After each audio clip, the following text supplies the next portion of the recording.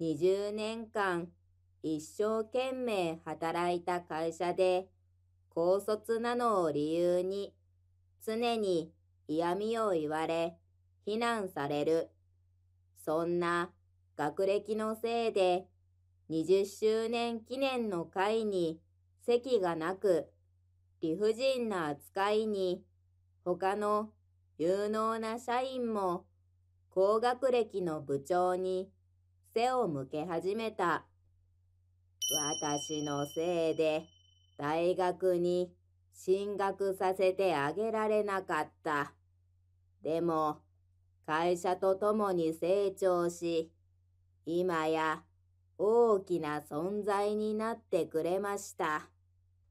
私は川崎和也38歳。高校を卒業してすぐに働き始め、もうすぐ勤続20年になる。その職場は父が設立した会社だった。父はかつて大手金融会社で働いていたが、本当はアートやインテリアに情熱を持っていた。ヨーロッパ旅行で西洋アートに魅了され、アート関連の職を探したが、時代背景と家族の反対で断念した。結婚し、私が生まれた後、安定した生活を選んだ。私は恵まれた環境で育ち、父が私の教育が終わると自分の夢を追うと言ったとき、反対することはなかった。高校2年生の時、その話を聞いて、私は大学進学を断念し、父の夢を妨げることなく、父の会社で働くことを選んだ。その選択により、私もアート業界に興味を持ち、結局、父の会社での勤務となった。父の会社は現在ある程度の規模を誇る。私が入社する際、父からの提案は私たちが親子であることを社員に秘密にすることだった。父の意図はお互いの自立を促すためだった。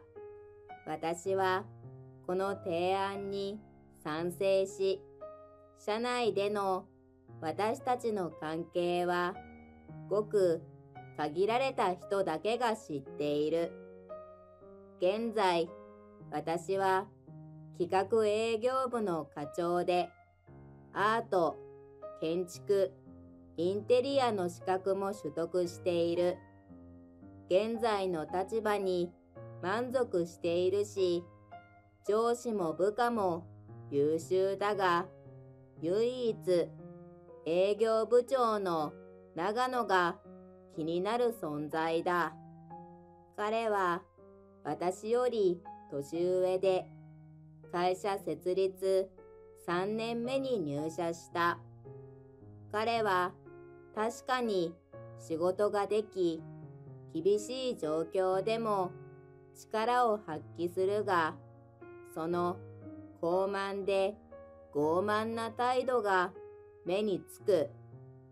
海外経験もあるが、そのことを誇って周りを見下す傾向がある。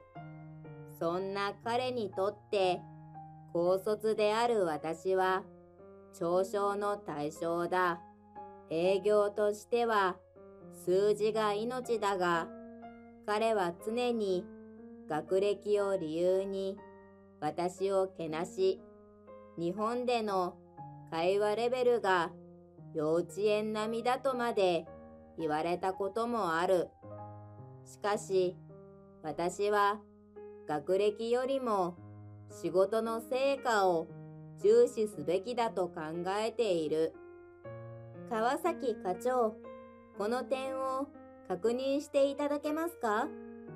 と、名門女子大出身の市川みどりが私のデスクに来た。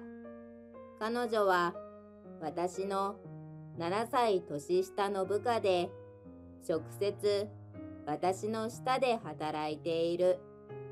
彼女が持ってきた書類を見るとすべて英語だった。この会社では海外取引が日常で英語は必須だが私が学んだのは英語を翻訳するツールの使用だ。入社以来忙しく英語を一から学ぶ時間はなかったから翻訳ツールの活用を選択した。テクノロジーの進化に伴い常に最新のツールを使用し効率よく仕事を進めている。便利な時代だからこそテクノロジーの活用は非難されるべきではないと考えているが、長野はその点について否定的だ。英語の書類、市川くんが担当したものだな。川崎くんに任せるのは心配だ。私が見てやるよ。市川くん、書類を持ってこい。緑の言葉を敏感に察した長野は、私がチェックすべき書類をさっと取り上げた。緑の書類を眺めながら、必要もないのに嫌味を言う。市川くん、ここは早くではなく迅速にと言うべきだね。それに、ここのニュアンスは川崎くんには理解できないだろうから、修正後も私のところに持ってきなさい。緑は面倒くさそうにうなずいた。確かに言葉のニュアンスは重要だ。相手によっては失礼になることもあれば親しみやすくなることもあるからだ。しかし、急を要するときには要点だけでも確認すべきだろう。緑はいつもギリギリで書類を扱うから、その書類も急ぎのはずだ。しかも、言い回しも場合によっては不適切になりかねない。緑にとっては38歳の私も47歳の長野もどちらも厄介なおじさんに違いない。市川くんと川崎くんと違って有名大学の卒業生だが市川くんの方が修正箇所が少なくて助かる。なぜ私の話が出る必要があるのかは疑問だが、もはやそんなことに反応することもなく、淡々と長野部長に感謝の言葉を伝えるのが一番だ。余計なことは言わず、ただ感謝の意を示した。私の部署では月末になると居酒屋やレストランで一息つくために集まるのが慣例だ。参加したくない人のためにオフィスのミーティングルームでビールとピザを用意し自由に飲んでいくスタイルをとっている。この会は仕事の情報交換や愚痴を言い合う機会でもある。参加は強制ではなくビールを持ち帰っても構わない。多くの人が参加してくれるのが嬉しい会だ。今月の月末が近づいてきたので、注文するピザ屋を決めようと思っていた。この地域には美味しいピザ屋がたくさんあるので、毎回選ぶのに苦労している。くだらないことかもしれないが、部署にとっては重要な会だ。そこで会社のグループチャットでお知らせを送った。しばらくして長野さんが突然大声を上げた。はあ？ピザの通知か。どんな仕事感だよ。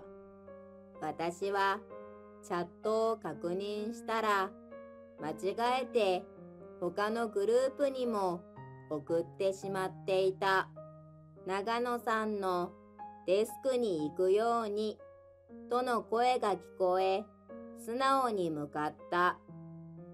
お前、40歳手前の課長なんだから出世できない理由を考えた方がいいんじゃないか？ピザ屋選びが優先事項だからだろ？高校では仕事中にピザ屋選びがビジネスだって教えてたのか？長野さんの言葉に反論したい気持ちはあったが、ミスは自分の責任。仕方なく頭を下げた。長野さんのパソコンから連続するチャットの通知音が聞こえてきた。その音はしばらく続いた。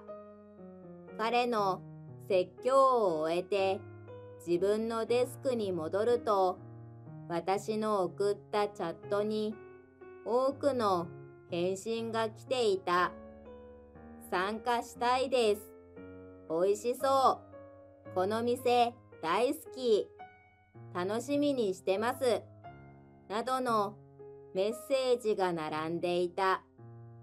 少し嬉しくなりつつ、他の課長に迷惑をかけないように謝罪し、自宅での個別の集まりなので、各部署でピザが必要なら、ぜひ利用してください。と、全員に返信した。次に、全社員が参加する仕事関連のチャットを開いてみた。最後のメッセージは、遅刻に対する罰則に関するもので、長野さんが先週送ったものだった。他には、顧客訪問時の服装基準やアクセス禁止の徹底など、ほとんどが長野さんからの通知だった。私の次回のピザもお楽しみに。というメッセージはその中で目立っていた。その日、オフィスでたくさんの社員から挨拶を受け、普段話さない人たちとも交流できた。送信ミスには反省したが、交流が広がったことは嬉しかった。それ以降、チャットの使い方には特に注意し、間違いをしないようにしている。先日、久々に実家に帰って夕食をとる機会があった。久しぶりに会った父に最近のことを話すと、よく頑張ってるみたいだね。上の方からもいい評判を聞いてるよ。と父が言った。そろそろいいんじゃないかな。来月、会社の20周年記念パーティーがあるから、お前の気持ちが決まったら、その場で発表してみては。と、父が提案した。まだまだ頑張るところはあるけど、時期が来たらね。と、私。私は新しいプロジェクトの計画を練っていたため、すぐには答えられなかった。会社設立20周年というのは、私にとっても勤続年数として意味が大きい。そこで母が口を挟んだ。和也くんも38歳になるのね。仕事は大事だけど、結婚も考えてほしいわ。何かいい人はいないの？と、その後の夕食は私の結婚話で盛り上がった。帰宅途中、大きな月を見上げて、なんだか深刻な気持ちになった。結婚、そうだよな。いつまでも独身でいるわけにはいかないし、仕事一筋で恋愛には疎かった。今考えているプロジェクトを考えると、恋愛や結婚は後回しになりがちだ。でも、一人っ子として母に孫の顔を見せたいという気持ちもある。恋愛にどうアプローチすればいいかは難しい問題だ。とりあえず月に向かっていい縁があるようにと祈ってみた。オフィスで事務作業に没頭していた翌日、長野の大声が聞こえてきた。大野だ何をやってるんだ？小野田くんは市川と共に入社した同期だった。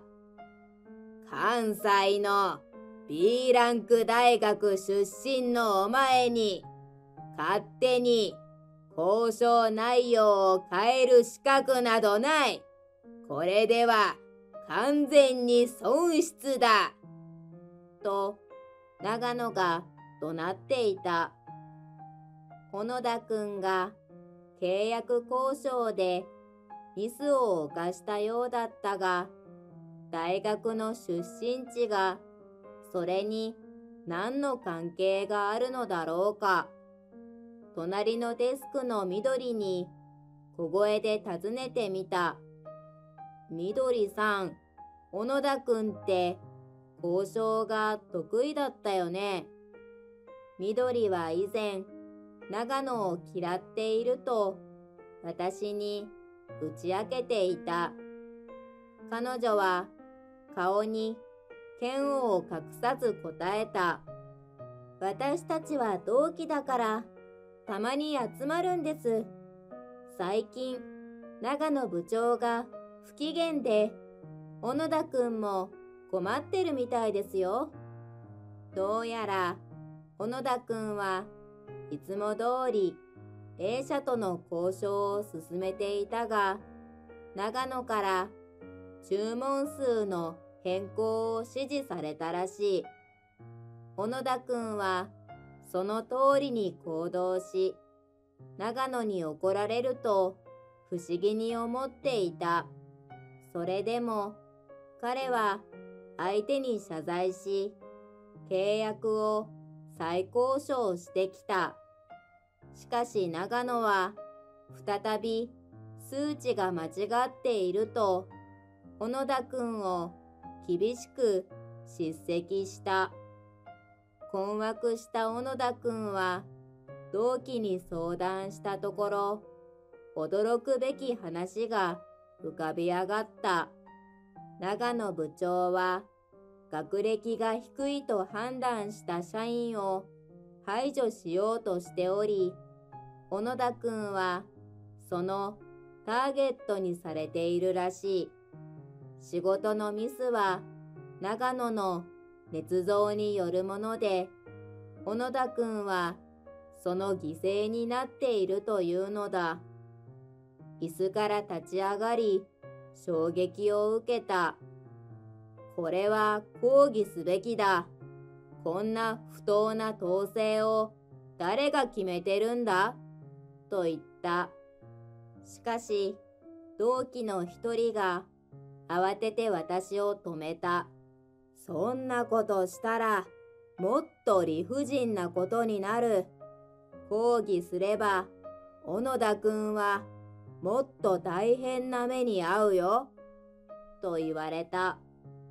私は驚いたが、最近抗議した隣の課の課長補佐が標的にされたという噂も耳にしていた。その人はポストを失うかもしれないと言われていた。だから私が抗議しないでくれと課長がいなくなったら困ると言われた。私は再び座ったが、怒りと混乱で心が乱れていた。普通の社長の息子だったら、すぐに父に報告し、長野を処分できるだろう。しかし、私と父は仕事で完全に独立しており、正規の方法で長野の策略を暴き、真面目な社員を守る方法を模索しなければならなかった。どうやって自分の力だけで長野に立ち向かえるか。先日の父からの提案を受け入れる決意を固めた。もう年齢も考えるべき時だし、こんな形であるのは残念だが、覚悟を決めたのだ。会社の創立20周年記念パーティーが都内の高級ホテルで盛大に開催された全社員が出席する一大イベントだった。しかし、驚くべきことに、長野の部署の13人の席が空いていた。事前に緑から聞いていたが、長野は部署内の高学歴を持つ人間だけを集め、独自のチャットグループを作っていた。私は当然、そのグループには招待されていなかった。そのグループには長野の考え方を称賛する一部の学歴主義者がおり、いつもとは違い、長野の意見に賛同する返信が多数届いていたという。ピザの話題のチャットが羨ましかったのかと、私はその話を聞いて呆れた。さらに、長野はこのチャットメンバー以外には、パーティーの詳細を伝えないよう指示していたそうだ。緑のように、この幼稚な対応に戸惑う社員も多かったが、声の大きい学歴信者たちの圧力に押されて声を上げられなかった。総務部にも長野の賛同者がおり、パーティーへの参加確認も操られていた。結果として、パーティーに出席していない部署の社員は、パーティーがあることは知っていたが、参加できることは知らされず、日時や場所の詳細も知らなかった。許しがたい行為だった。長野に招かれていないことを承知の上でパーティーに出席した。受付で名前がないことに気づき、名刺を見せて課長としての立場を確認し、入場した。会場内では、長野を中心とした小さな人だかりで、長野とその計画の賛同者たちが集まっていた。私は彼らの顔をしっかりと記憶に留め近づいた。私を見つけた長野は不満げに、なんで川崎くんがここにいるんだ？君は高卒だろ？と言った。周りの人々も長野に倣って蔑むような態度を取り始めた。高卒の人間が会社にいるなんて我が社も底辺だね。との言葉にも屈せず、何の問題があるんですか？会社のパーティーに社員が来るのは当然ですよ。と、堂々と反論した。彼らは、やっぱり低学歴は理解力がない、と卑下するようなことを言いながら、勝手に盛り上がっていた。パーティーが始まるアナウンスがあり、参加者がそれぞれの席に着き始めた。私は長野がいる円卓に向かった。席は全社員を想定して設けられていたが、私の名前はどこにもなかった。どこに座ればいいのかわからず、立ち尽くしていると、長野があざけるように言った。探しても無駄だよ。低学歴の席なんてないんだから、帰った方がいいよ。私は長野の挑発的な態度に答えることなく、円卓から一つ椅子を持って会場の隅に座った。満足そうな長野の顔をしっかりと覚えておいた。挨拶が始まり、定石に父を含む会社の役員たちが着席した。その時、係の人に呼ばれ、席を立った。父の社長挨拶が始まる。本日は多くの方にお集まりいただき、心から感謝申し上げます。この場を借りて、乾杯の温度を取らせていただきたいと思います。父の言葉に会場は一層の熱気を帯び、パーティーが本格的に始まった。皆様、本日はご集合いただき感謝しております。まずは過去20年の成功を振り返らせてください。と父が語り始めた。私は父のスピーチを聞きながらスタッフの指示に従って会場内を移動していた。長野の近くを通ると彼の仲間たちが哀れな姿だね。追い出されて席もないんだ。と小声で囁いているのが聞こえた。父は、我々はこれからも変わらぬ努力と誠実さで会社を成長させていきたい。と続けた。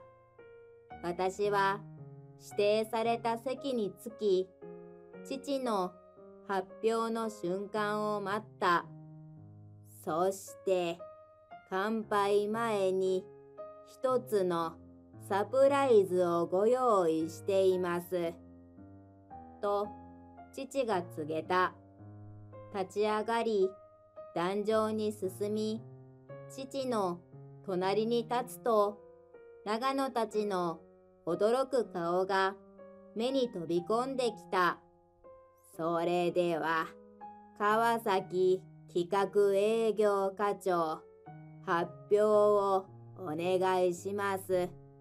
と、父が紹介した。皆さんの拍手、ありがとうございます。この度、私、川崎和也は、新設される海外営業所の責任者として任命されました。これは我が社にとって初の海外拠点となります。と私が発表すると会場からは拍手が沸き起こる中長野とその仲間たちはただ呆然としていた。明日から海外勤務に関する社内募集を開始します。と続けた。私は20年前18歳の時に父の会社の将来を信じました。その後、自分の役割を模索し、海外市場への拡大に貢献する道を見出しました。長野部長のような海外で教育を受けた経験はありませんが、仕事における専門知識においては、誰にも負けない自負があります。そのため、数年前から海外の拠点開設に向けて準備を進めてきました。と、私は語った。スピーチを終え、マイクを父に返すと、彼は感激の涙を浮かべていた。私の発表は会社に新たな可能性をもたらす瞬間だった。実は彼は私の息子です。私のせいで大学に進学させてあげられなかった。でも、会社と共に成長し、今や大きな存在になってくれました。と、父が社員たちに向けて言った。父の突然の告白は、私には少し照れくさく社員たちの熱い拍手に感動した。拍手は長く続き、何度も頭を下げた。父にも社員たちにも認められたことに心から感謝した。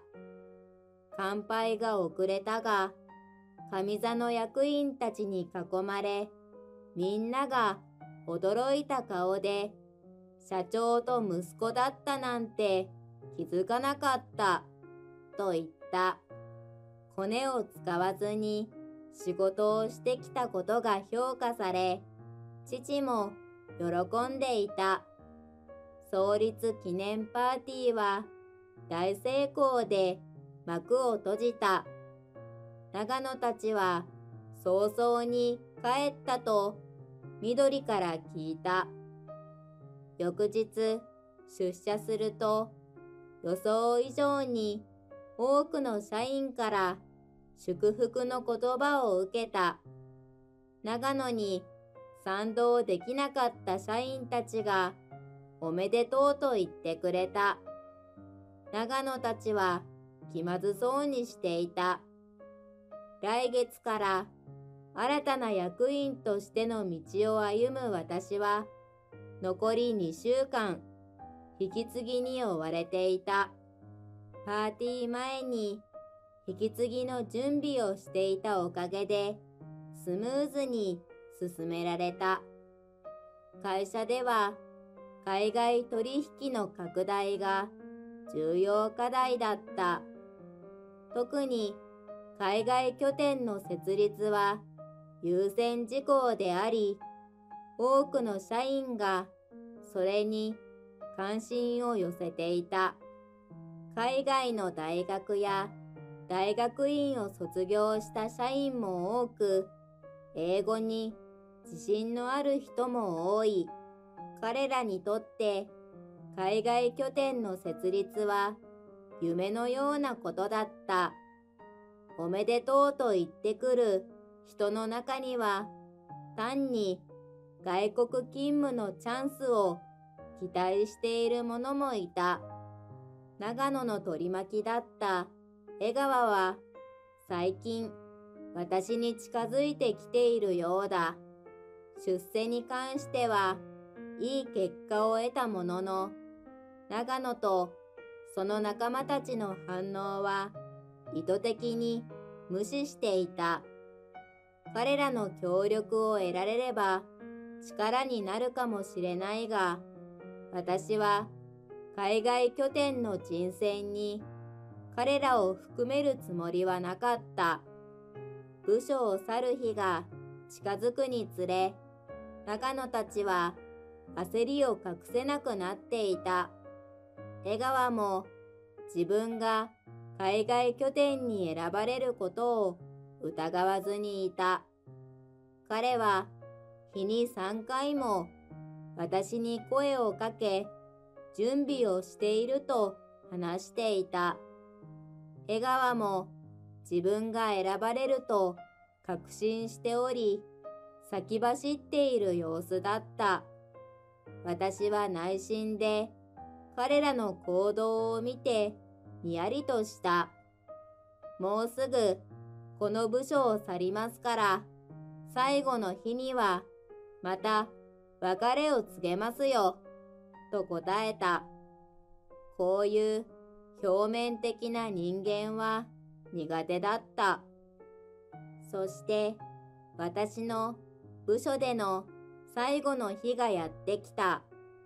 その朝、私は全社チャットで川崎主催の最後のピザ会へようこそというグループを作成した。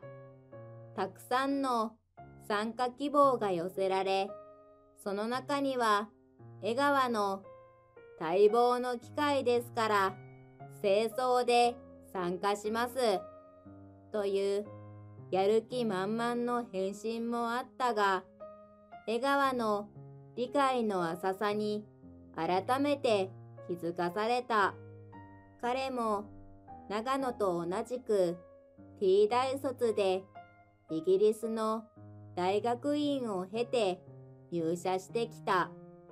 しかし、私のピザ会はカジュアルな雰囲気が特徴で、清掃したら逆に間違いになる。学歴が高くても日常生活の知恵が足りない典型的な例だった。就業時刻が近づくと、私は各部署を回り、各部門の部長たちに、これまでの感謝の気持ちを伝え回った。長野部長のデスクにも足を運び、礼儀正しく、しかし簡潔に感謝の言葉を述べた。その後、ミーティングルームで開かれるピザ会に向かった。部屋に入ると、クラッカーが鳴り響き、卒業ソングが流れ、みんなが待っていた。私は花束を受け取り、参加者全員が温かく迎えてくれた。私は驚きと喜びで涙がこぼれた。今回は特別に評判のいいピザ屋から上位5点のピザを注文しておいた。参加人数が多かったので、ビールの種類も豊富に用意されていた。長野もこっそり参加しており、一角でビールをちびちび飲んでいた。しばらく経ち、みんながリラックスした頃、私は声をかけてみんなの注意を引いた。海外勤務に関する重要な発表があります。と切り出した。江川は場違いなスーツ姿で興奮気味に待っていた。私は海外で働くことになるメンバーの名前を発表し始めた。小野田くんから始まり、佐藤さん、山田さん、田中さん、市川さんと続き、参加者からは祝福の拍手が湧き起こった。私が最後に、以上です、と締めくくると、長野の表情は驚きで固まった。私の発表により、長野とその仲間たちは戸惑いを隠せず、え、なぜ私が選ばれなかったんですか？と、江川が混乱していたが、私は落ち着いて説明した。長野部長や江川くんなどの高学歴を売りにしている社員には、日本の本社で活躍してもらうことが最善だと判断したのだ。私はノートパソコンを開いて2週間前に作成した特別なチャットグループに彼らを招待した。このグループは長野によって低学歴とみなされていた社員たちを集めたもので、緑が内部情報を収集するために潜入していた。私はグループの中で学歴ではなく実力で評価されたいと願う海外での仕事に興味がある人々を募った。全員が日本の学歴優先の風潮に疲れ、新しい環境での活躍を望んでいた。発表が終わると、長野の顔は驚きで固まり、チャットでのやりとりを思い出していたのだろう。部屋を出るとき、私はクビになるわけでもないし、本社でも活躍できますよ。と声をかけた。みんなが笑い、私は最後のピザ会を心から楽しんだ。その週、私は新しい部署に移り、海外勤務の準備に取り掛かった。多くの社員が参加する視点としてまとめる必要もあったが、父との関係やパーティーでの私の行動がいい方向に働き、いいスタートを切ることができた。明日からの海外勤務前日、私は実家で夕食を食べた。しっかりやってくれ、と父が言った。母親からは、結婚についての報告は？と尋ねられたが、確かな答えを出せなかった。先週、緑からの海外勤務への参加希望のメッセージを受け取っていたが、私は返信を保留していた。結局、緑は海外勤務の一員として選ばれたが、その後、複雑なメッセージのやり取りはしていない。ある日、彼女から手作り弁当をもらい、こっそりと楽しんだ。美味しかった。しかし、母親には、お付き合いしそうな人がいるかも、とだけ伝えた。緑とのことはさておき、明日からは海外での勤務が始まる。父の会社を発展させるため、私は自分の役割を全うしようと決意している。父にとっても私にとってもこれからの活躍が楽しみだ。最後までご視聴ありがとうございます。もしよろしければチャンネル登録よろしくお願いいたします。では、次の動画でお会いしましょう。